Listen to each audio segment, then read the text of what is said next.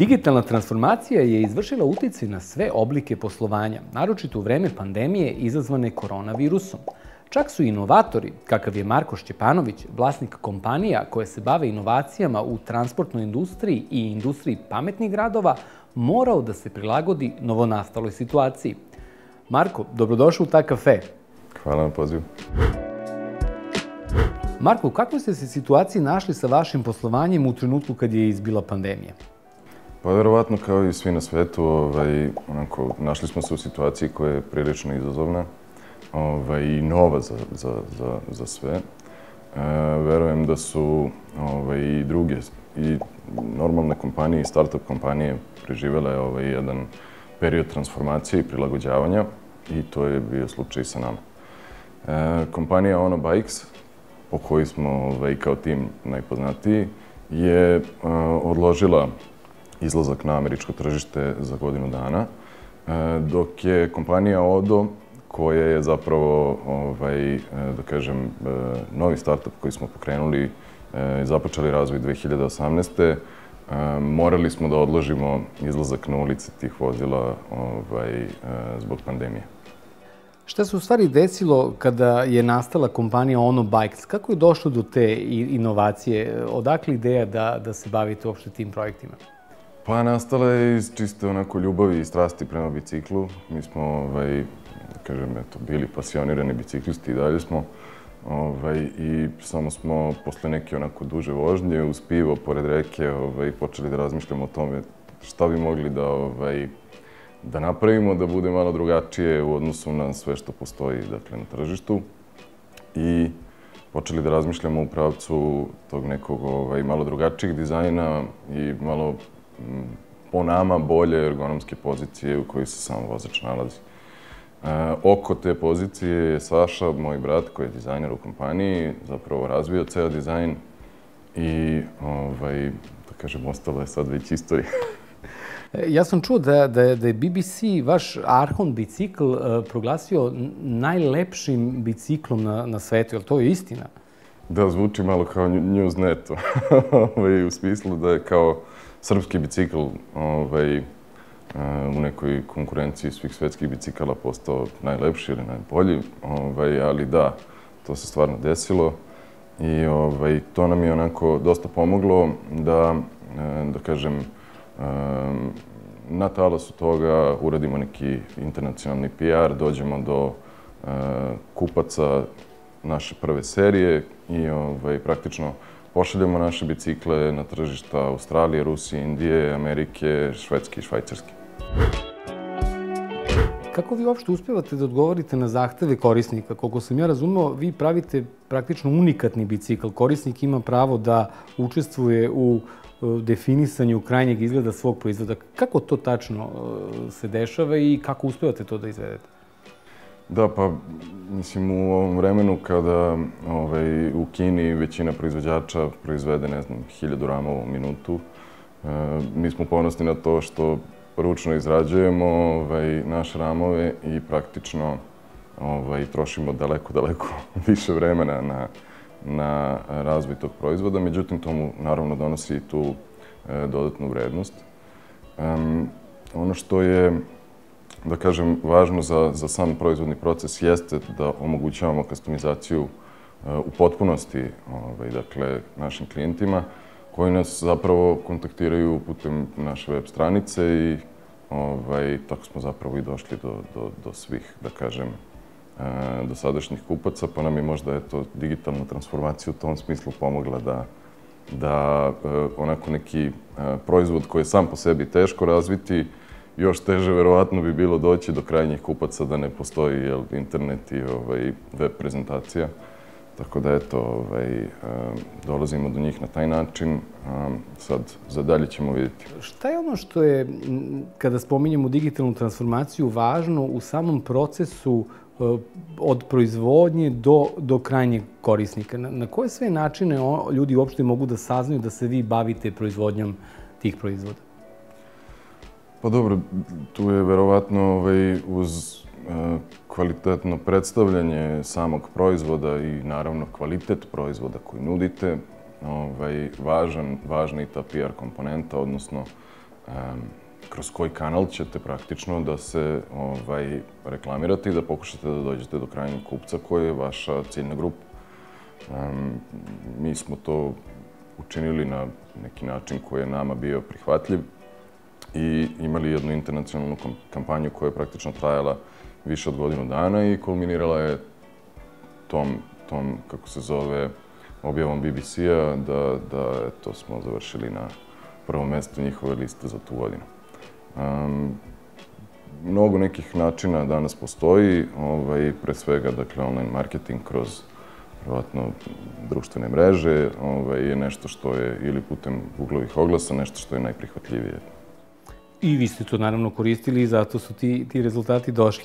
E, e, još jedan projekat je spomenut, a to su te Odo Rikše. I on je u stvari možda i najviše doživeo e, promenu u, u ovim novonastalim uslovima zbog pandemije. Šta se tu desilo? Jeste, da. U pitanju je, dakle, jedan stari koncept rikše koji smo značajno unapredili.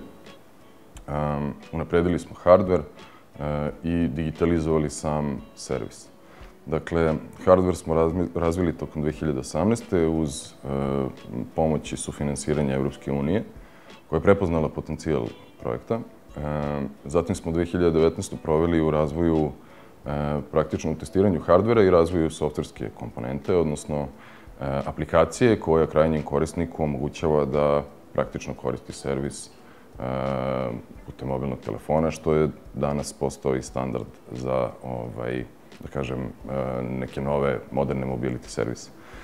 Um, mi smo praktično ovaj, značajno napredili taj hardware, a to je u stvari jedan tricikl koji ima vozača i pozadi mesto za dvoje ljudi odraslih ili za kargo prostor, odnosno praktično servis za transport ljudi i robe kroz um, centre gradova, koji će u narednom periodu doživjeti onako jednu veliku transformaciju. I mi želimo da budemo deo tog redizajna e, i da ponudimo jedno rešenje ovaj, za optimalno kretanje ljudi i robe kroz centar grada koje je ekološko i održivo. I to je sad privremeno stopirano i ta faza će se nastaviti čim se steknu uslovi da se život u gradovima normalizuje, vidimo to polako da. i dolazi, je li tako? Da, praktično ovaj, mi smo ušli već u, u neke pregovore sa e, opštinama i gradovima u regionu krajem 2019. početkom 2020. Međutim, u martu je onda nastupila pandemija i e, sve je to naravno stalo. Međutim, ako postoji nešto što je dobro, ovaj, što je pandemija donela, to je to da su ljudi nekako prihvatili koncept električnog bicikla i kretanja na struju ovaj, i da smo sad mi u situaciji da nama prilaze ovaj, ljudi i pričaju nam kako je to super. Posle deset godina ovaj, našeg ovaj, onako, truda i rada i ulaganja i vremena i napora i, i ovaj, u razvoj svega toga što je super, stvarno. To je, to je e, značajno jer ovaj, će nam zapravo e, gradovi onako biti dosta, nadam se, biti dosta čistiji i pametniji u, u narednih deset godina. Um, ono što e, takođe na čemu radimo i što nam je zanimljivo je zapravo industrija pametnih gradova i e, dakle praktično povećanje efikasnosti samih, samih gradova, kako za građane, tako i za gradsku upravu. Razumem i to je definitivno nešto što nije tako daleka budućnost, nego već sada živimo, a nismo toga ni svesni, ali ćemo u budućnosti tekako biti svesni na koji sve način Smart City projekti utiču, utiču na nas. Ono što bih sad hteo da te pitam, vidim da koristiš ovaj e, Lenovo ThinkPad. Odakle ta, ta ljubav prema, prema Lenovu i, i tim računarima? E, kad si ih prvi put koristio i kakve su tvoje iskustva kao korisnika? Da, pa moje iskustvo kao korisnika je zaista ovaj, onako, mislim, fenomenalno. Ja ovaj, sam počeo zapravo da ih koristim um, u prošlom životu, kada sam se bavio ovaj, puštanjem muzike, DJ-ingom. Um, nisam nikada bio fan Mac-ovih proizvoda ovaj, i ono što mi je davalo neku stabilnost u smislu sistema ovaj, i, i same mašine je bio taj prvi model koji sam imao, mislim da je bio X230. Ovaj, a zatim, kada sam, da kažem, prestao sa tom karijerom, počeo da se bavim ovaj, poslom ovako na, na nekom drugom nivou i dru, u drugoj sferi. E, prešao sam na, na X1 Carbon i ovo je već treći model koji, koji imam. Znači, i za poslovne ljude i za clubbing. Sve, sve potrebe pokriva. U mom slučaju je barem bilo tako. Ja sam čuo da se novi projekat u stvari zove Smart City Box. O, o čemu se tu zapravo radi? Da, Smart City Box je zapravo radni naziv, vidjet ćemo da li će se tako zvati i na kraju, ali u pitanju je jedan uh, IoT onako, uh, uređaj koji uh, ima kameru i četiri senzora. Um, kamera uz pomoć mašinskog učenja praktično prepoznaje komunalne probleme sa kojima se gradovi susreću svakodnevno.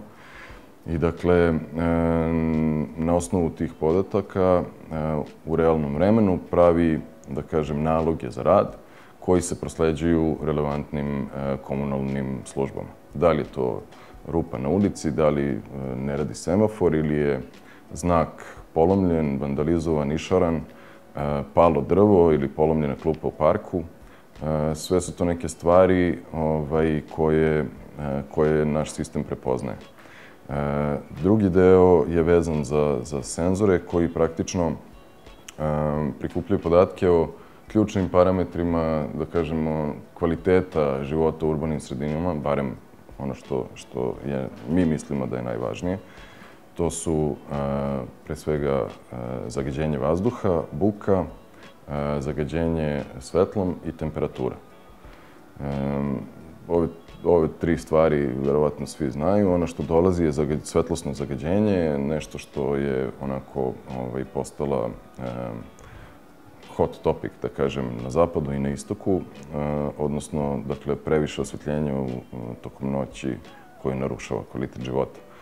E, Poenta je da e, su ti uređaji instalirani na e, veliki broj vozila koji se kreću kroz grad i u realnom vremenu praktično pravite neke hit mape kroz platformu, praktično e, dolaze do krajnjeg korisnika koji su u ovom slučaju opštine i gradovi e, i to su neki data setovi koji će njima onda zapravo omogućiti da e, donesu neke nove strategije koje će poboljšati kvalitet života u urbanim sredinama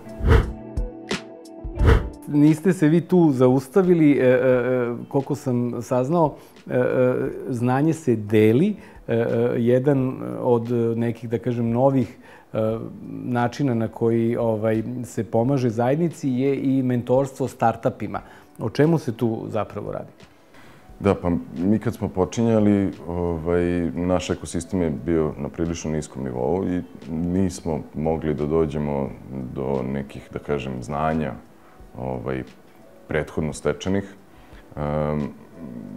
Nekako ceo sistem je bio jako, na jako primitivnom nivou, da kažem, jer e, pored znanja nije bilo ni pristupa baš onako nekim izvorima finansiranja.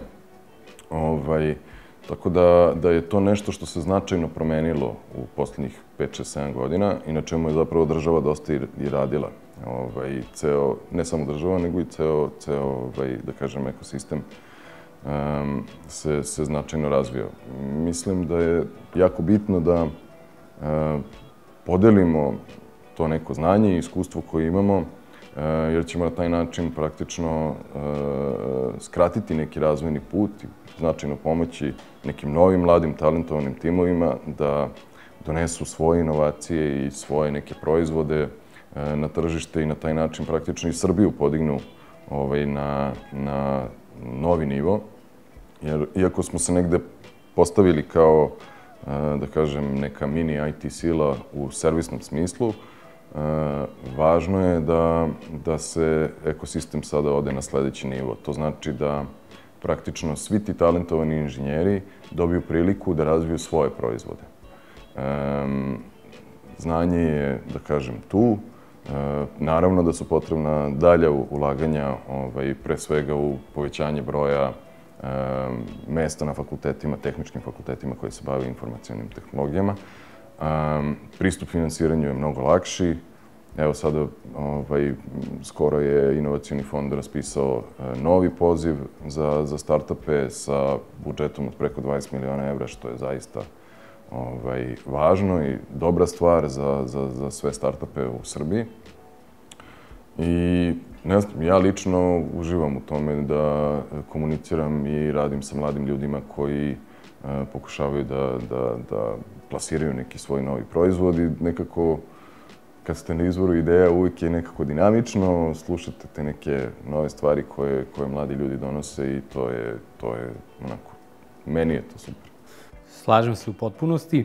E, e, bilo je reči o tome da postoji ljubav prema muzici, a ja otprilike znam kad je tu muzika, tu je negde i film i hteo sam za kraj ovog razgovora jedan ovaj poklon da vam dam. To je knjiga Vejka Radosavljića, mog kolege iz Tag Medije, zove se Sjaj crnog i ona govori o e, e, crnom talasu u jugoslovenskoj kinematografiji. Tako da, eto, jedan poklon i sećanje na ovo naše druženje, uz još jednu zahvalnost e, što ste bili s nama u ta kafeu. Hvala na pozivu.